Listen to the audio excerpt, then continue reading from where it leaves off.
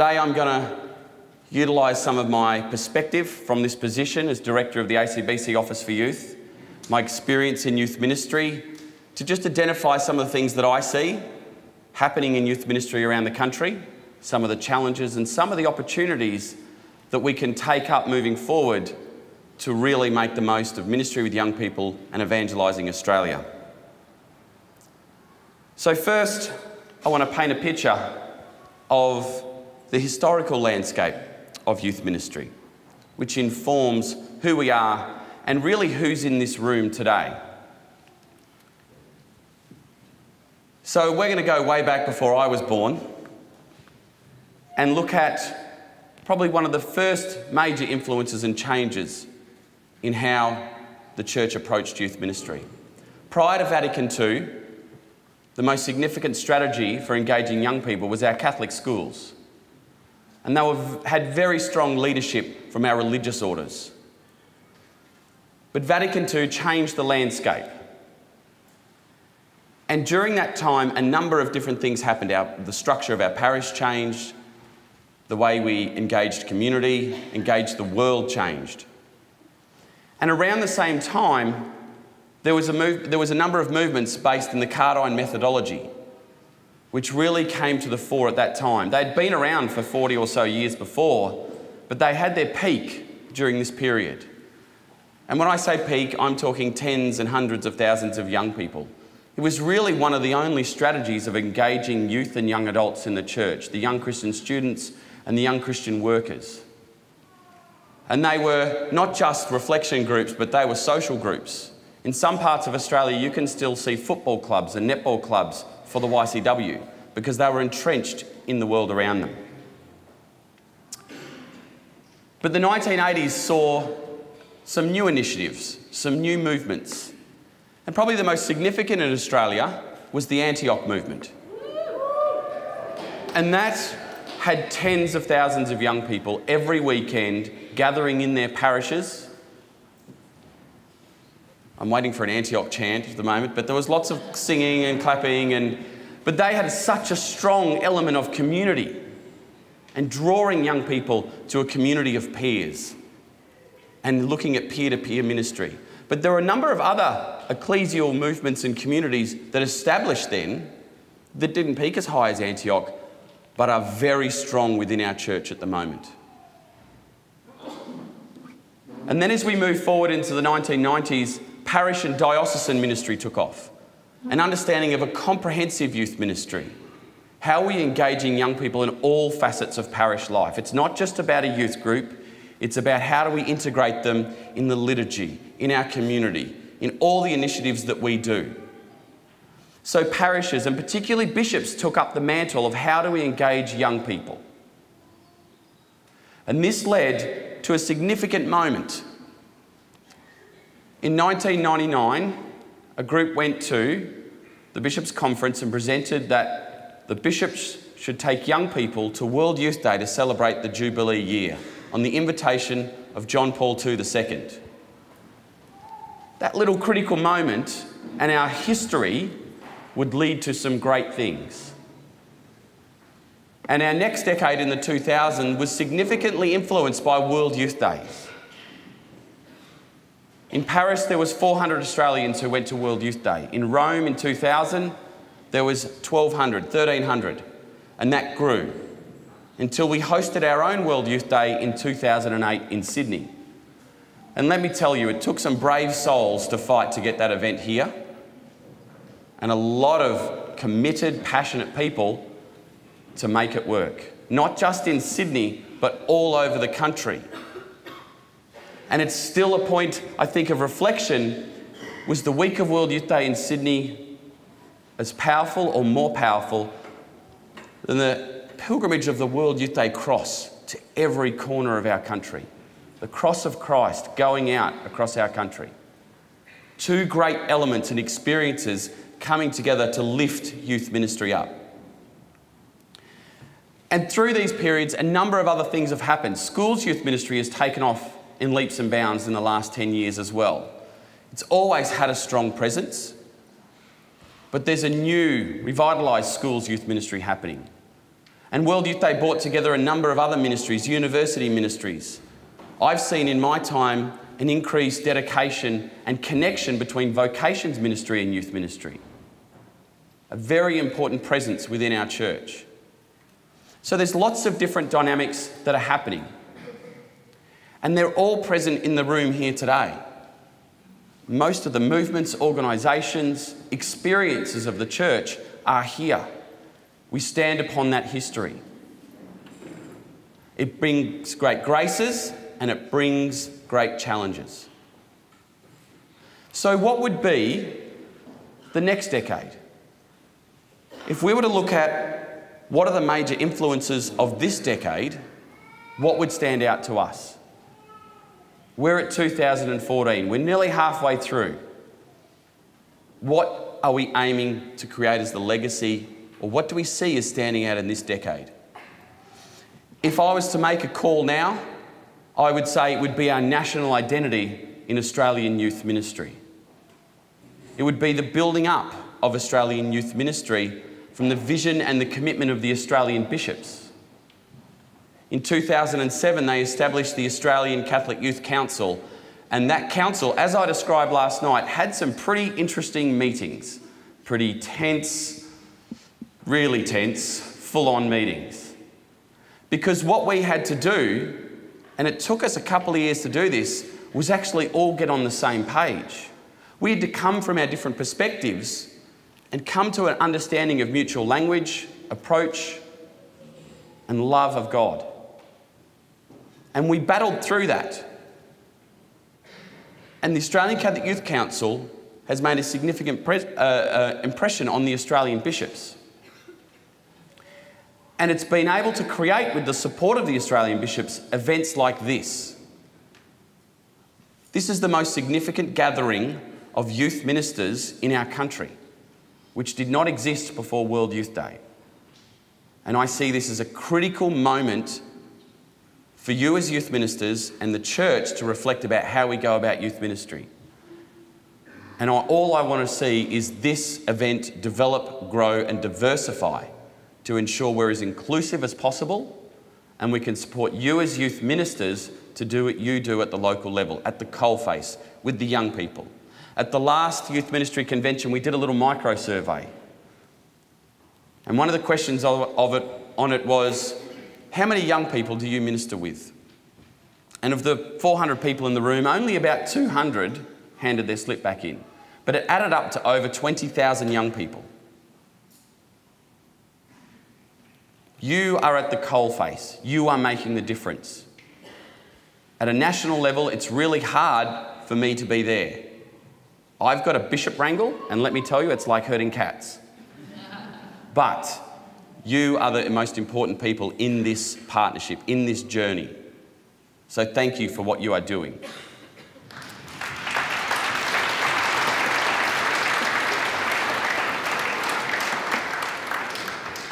Other initiatives that the Australian Catholic Bishops have de developed are the Australian Catholic Youth Festival, and we celebrated that last night. I see this as a really critical moment for youth ministry and a really critical tool because it does two things. I think it's an opportunity for us to hold up those who minister with young people. We can offer and identify emerging musicians, emerging speakers, emerging ministers, and give them a platform to take that next step. Because at the moment, most of our youth ministry in this country is at a local level, and we need to build up the resources Build up the passionate speakers, build up the passionate musicians about sharing the message of Christ and the teachings of the church with young people and fight up young people who can take, fight up ministers who can take young people out in the world to be at service of the world. The other part of the festival for me that's really critical is really one of my highlights of last year's festival. A bishop said to me at the end of the first day, it's really important that we are here. That the, I'm really happy that the Australian bishops are here, and I need to get more bishops here. Because there's young people here who don't agree with church teaching, who aren't committed to their faith, who have lots of questions. And it's really important that we as bishops are here with them. And that is what I'd really like to see the festival become an opportunity that those young people who might not agree, who might have a lot of questions, they come open for answers, open to the relationship with Christ. And I hope the bishops, you as youth ministers, priests, religious, everyone in the church in Australia takes an opportunity to help young people come to that experience where they encounter the full communion of the church and they have a powerful encounter with Christ. The third big element that we are working on nationally, obviously, is World Youth Day. And yes, it's time consuming, it's pretty significant. And that's probably why we're focusing, focusing on it so much at a national level, is because it is time consuming. It takes you away from that local coalface ministry. So we're doing all we can to help you resource share. Do what we can to support those who are coordinating pilgrimages, be small group facilitators on pilgrimages, and those who don't even go to World Youth Day. Help young people have a positive experience and then return to a community that loves and appreciates and engages young people. In your, in your bags at the convention here to, uh, this week, you've got a little booklet that Bishop Anthony Fisher has written. And it's about the effects of World Youth Day and the Australian Catholic Youth Festival, the effects of events. And he talks about some of the statistical reflections, the impressions of young people, the stories of young people, about what an amazing, impactful opportunity and moment of grace that World Youth Day or the Australian Catholic Youth Festival was for these young people. And I really encourage you to read that because there's a very significant challenge in that booklet. And it talks about what are the formation programs that we're offering for young people leading into these experiences and out of these experiences. These are mountaintop experiences. We are like the disciples who get to the mountaintop and say, gee, it would be really good to stay here. But we can't. And it's up to us as youth ministers who, who bring young people to these events, not just those two, but other events around the country. What's the formation? What's the process of formation that we have for young people coming in and out of these experiences? And that's a challenge Bishop Fisher puts to us about how we're going about our youth ministry. So, nationally, there's a lot happening, lots happening. And it's really been in the last five years that this has happened. And it's all been grounded in the document you received this morning, Anointed and Sent. They're the goals, the focus areas for how we should be thinking, reflecting, and reacting, responding to youth ministry. Everything we do at a national level is there to support you at a local level. It's what the national structure is for. The bishops aren't into kingdom building, they're not into creating big offices. Gabriel and I are the only people in the Bishops' Conference focused on youth ministry looking at things nationally. Everyone says we should have more staff. The bishops don't, though. They know there's a bill attached to that. Um, but it's not about these big things, it's actually about what you're doing. And that document grounds not only what I do, but what you do. And that's the foundation of our youth ministry moving forward. So, with our history, with us standing upon the shoulders of those who have come before us, our current landscape, our large initiatives, what are the opportunities in front of us? I think right now, in 2014, it would be easy for me to say that Australian Catholic Youth Ministry, our identity could be our legacy. But you know what? Something happened last year that changed the landscape altogether and that was Pope Francis. And he's got six years to turn us on our head in this decade. And any structures or events that we might think are fantastic right now, who knows what they're going to be like in a few years? Who knows what's going to happen? What inspiration the Spirit is going to give to us through Pope Francis? So I make no assumptions about kingdom building, about saying this is the legacy. We're in a good place. But we need to be open to the Spirit and where that calls us. So let's look at a couple of the challenges. Probably the most significant challenge for us in youth ministry in this country, which really has come out over the last couple of days, is to get a sense of holistic formation. What it means to create holistic disciples.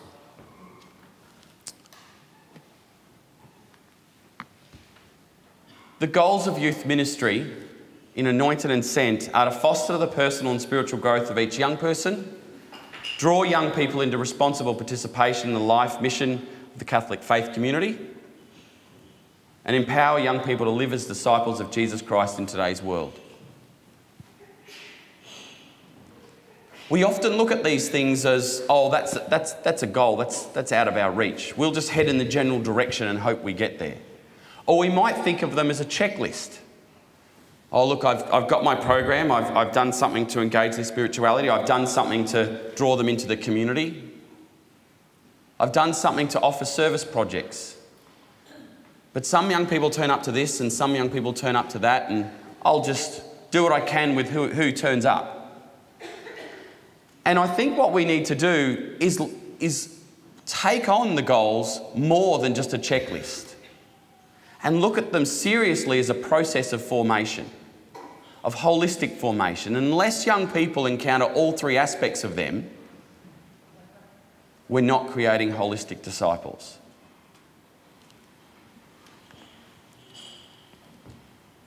What I want to do now is just look a little bit about looking at some terminology or some simple language about how we turn this into a process and, and look at this not as a programming schedule, but move from a group mentality to an individual, individual mentality. When I'm working with young people, I may gather them in a group for worship, I may gather them in a group for youth groups or community, but how am I thinking about them individually? And thinking about how we're we moving to evangelise young people? Give them an encounter with Jesus Christ. It may be their encounter for the first time. How are we working to catechise young people? How are we looking to form young people, give them an, uh, an education, an understanding of our faith? And I say catechesis in that particular goal because it talks about drawing young people into participation in our communities, and our communities are the best place for catechesis because it's not just about the head. It's about our experience. It's about being connected with other people in community and understanding our faith. And then, how are we drawing those young people into service? Service and respect of each other, and service in the world. Breaking that a little bit deeper, I think when it comes to evangelisation, there's two calls for evangelisation which are quite strong at the moment. There's our ongoing call our ongoing baptismal call to spread the good news to all people. And then there is the call for the new evangelisation to re engage those who have lapsed or become disconnected from church. And often that disconnection isn't of the head, isn't of the hands, but of the heart. We need to work hard in the new evangelisation to reconnect people to the heart, to a heartful encounter of Christ. So we have this call to look how do we reconnect those who have lapsed and also how do we go out in the world? I think at the moment a lot of youth ministry is focused on those that are close by.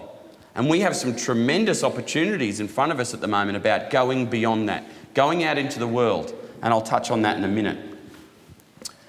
The church believes the catechesis is not just about knowledge, but it's about experience.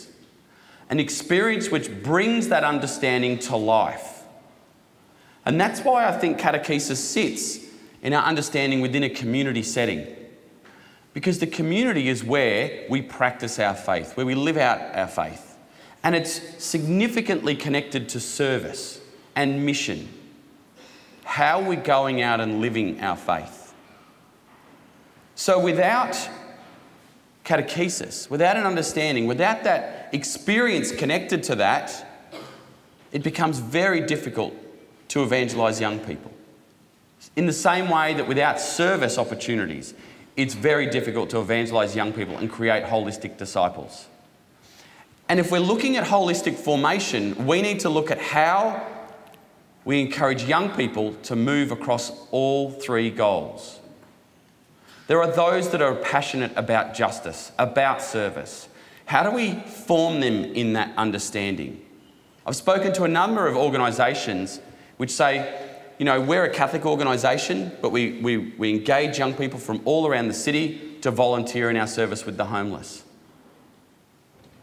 But they don't actually know we're a Catholic organisation. They don't know why we do what we do. And our greatest challenge is to help them make the connection about why they're doing what they do. So we need to help those that are in the service and justice focused areas get a greater understanding of evangelisation and catechesis. And in the same way, we have groups of young people in Australia who love those mountaintop experiences of being in prayer or adoration or praise and worship, which are powerful, powerful moments. Adoration is particularly powerful because it's, it's the opposite of what young people experience in our world. In a world that is so busy, so active, adoration is a moment of stillness and silence, and it is extremely powerful. But again, we need to move those young people who have a deep sense, a deep connection of heart into mission, into service. How are they living out their faith? How are they moving to animate and live out this powerful relationship with Christ that they have developed?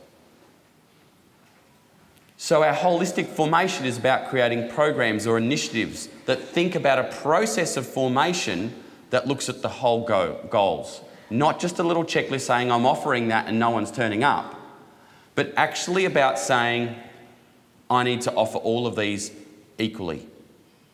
And then engage those young people, talk to them, build relationships with them, and help them take the next step into other experiences.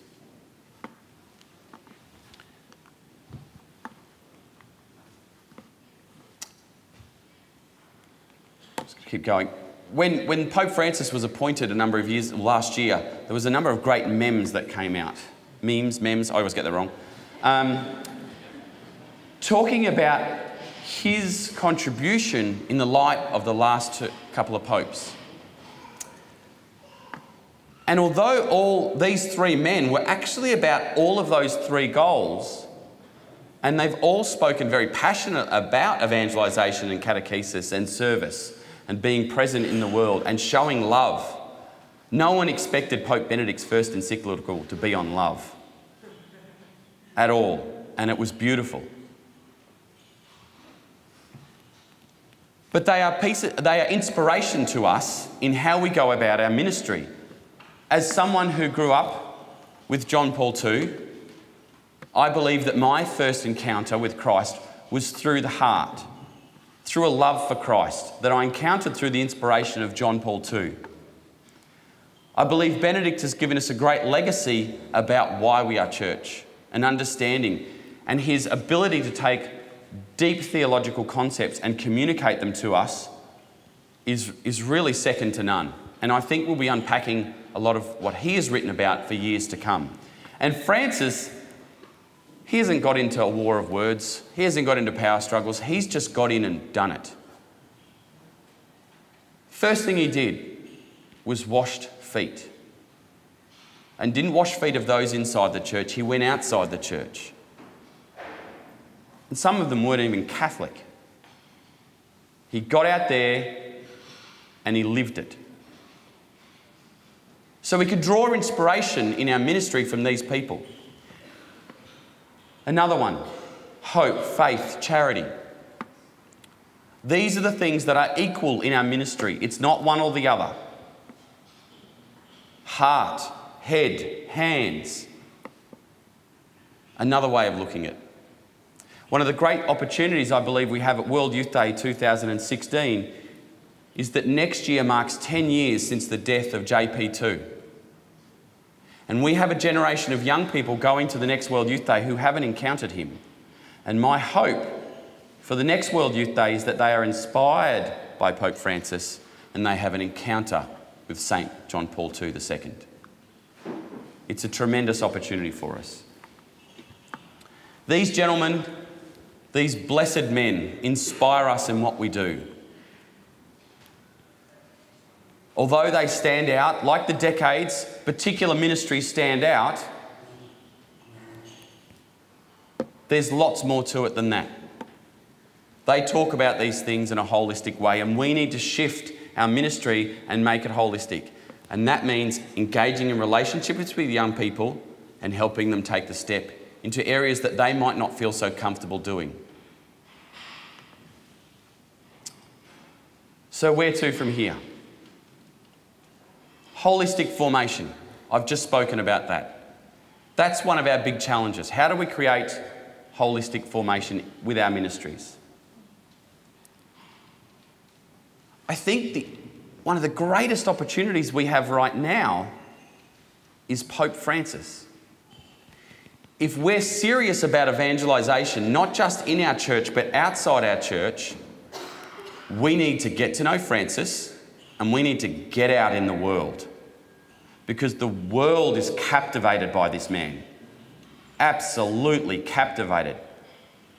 I know the Catholics are talking about him. You know what? Non Catholics are talking about him. Non Catholics are talking about him a lot. We need to get out beyond our comfort zone, beyond what we're doing normally, get out in the world and talk about Pope Francis. He is one of our greatest opportunities for evangelization, our ongoing baptismal call to share the good news with the people of the world. He is one of our greatest resources right now. And we need to get to know him and do all we can to have that conversation out in the world.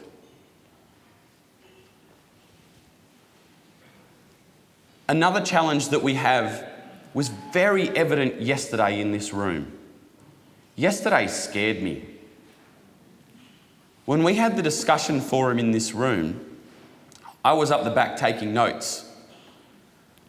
And most of you would have realised when you sat down and talked about what you needed, no one had the same topic. You all had very different needs. It was a little overwhelming for me, thinking, what the hell am I going to do with this? but it's not about me, it's actually about you. That process is something we can facilitate in this room.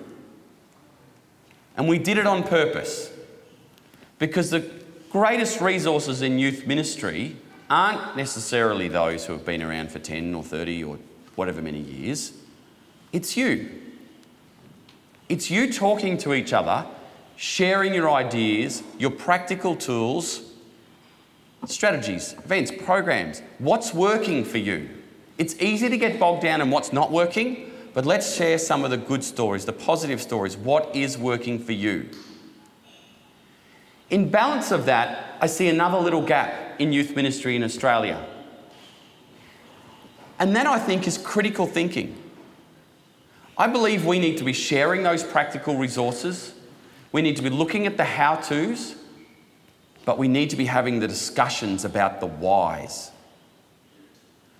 We need to be thinking is this the best thing for my ministry here where I am? Because there's a lot of good things happening around there, around Australia. And it's very easy to say, you know what, they're getting a couple of hundred young people, let's do that. But it might not fit your landscape, it might not fit where your young people are at. And you might have someone come to you and say, Well, look, you should bring your youth group to this. And you need to think seriously about that. And you reflect on that in light of your relationship and understanding of those young people. If you're thinking group, you will take your group. If you're thinking individual, you'll engage that young person and say, you know what, I think this next, next step's for you. I think there's a great opportunity for you to go to this. And I'm, I'm happy to go with you. But I, I want you to encounter something. It's not about the group, it's about the individual. So we need to be sharing and working together to share our practical tools, but also thinking really critically about is this the best for us?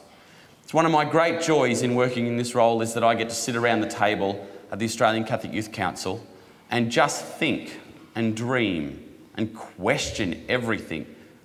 For those who don't know, when I was in high school, I was in YCS, and I was talking to someone about this yesterday. One of the legacies, for good or for worse, for being involved in that, is that I question everything. It becomes a little annoying even to myself sometimes, but it's about digging deeper. Talking to, to a member of the ACYC last night about we talked around in circles for ages in those first few meetings. It was tedious and painful. It was really painful. But this is what we got. We got this event. We got the youth festival.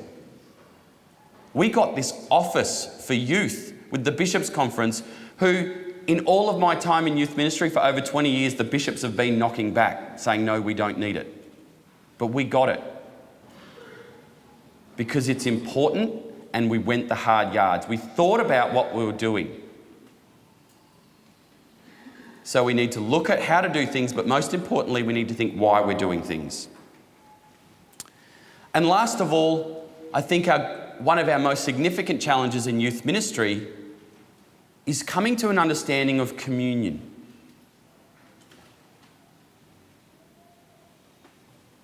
Communion, I'm going to read a quote now from, from Archbishop Bathersby, who wrote a document on the spirituality of communion. And he writes The spirituality of communion in the spirituality of communion, we are called to imagine our interrelationships in terms of mutual interdwelling, modelled on the union of the Father, Son, and Spirit. In such a life, each nourishes and sustains each other's being. That's how we should exist in youth ministry. We are diverse, we have different charisms, we have different spiritualities. But we are one in the body of Christ. And we need to be working collectively to evangelise Australia. And we need to be learning from those who have stalls around the side and those who aren't here, organisations that can help us build up our ministry. What are the partnerships, the relationships, the pathways, the bridges that we need to cross to build up a spirituality of communion in our youth ministry in this country? And, it's, and I'll be honest, I grapple with it all the time. I've got my history, I've got my challenges, but I, I try and talk about it with a number of people and pray about it as much as I can. Because I believe, and I firmly believe, that if we develop a spirituality of communion, we can change the Australian landscape. And in a very practical way, I think we can change the mass participation of young people in the church in this country, which has slowly been on the decline. And I don't know if you're sitting down going, How do I turn that mass attendance around? It's easy for us to say, Let's not count bums on seats. And I'm not a big fan of it. But you know what? We need to be drawing young people into our parishes. We need to be helping building their relationship with Christ. And we need to be encouraging them to live out their faith in the world, in service to the church, but in service to the world, out there, beyond church. There's lots more, I want to say, lots more experiences that I've had, lot more, lots more that I see. But I think the richest wisdom we have in youth ministry in this country is in you. And after, after morning tea, we're going to have another discussion forum. And I want to encourage you to continue to have these conversations. We, we put in the back of the program everyone's name and organisation. We don't put in phone numbers and emails, that can get a bit out of hand. But you all have pens and you all have feet and you all have mouths. Start talking to each other. See how you can support each other. There's some people that's doing great youth ministry out there.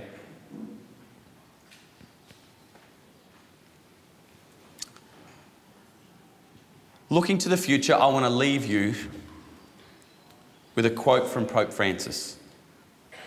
And it's from this year's World Youth Day message. He reminds all of those who went to World Youth Day of the invitation from Christ about how to go home and live out their faith. He said, There on the seashores, Jesus renewed his call to each of us to become missionary disciples. May we perceive this call as the most important thing in our lives and share this gift with others, those who are near and far even to the distant geographical and existential peripherals of our world. If we want to take youth ministry further, it's not just about our small community. It's not just about that organisational building that's got Catholic in front of it. It's about going out to the geographical and existential peripherals of our world. How are you thinking about engaging out there? So I ask you, how are you being a missionary disciple? And how are you reaching out to engage the geographical and existential peripherals of our world? And when you do, are you doing it with the full joy of the gospel? Thank you.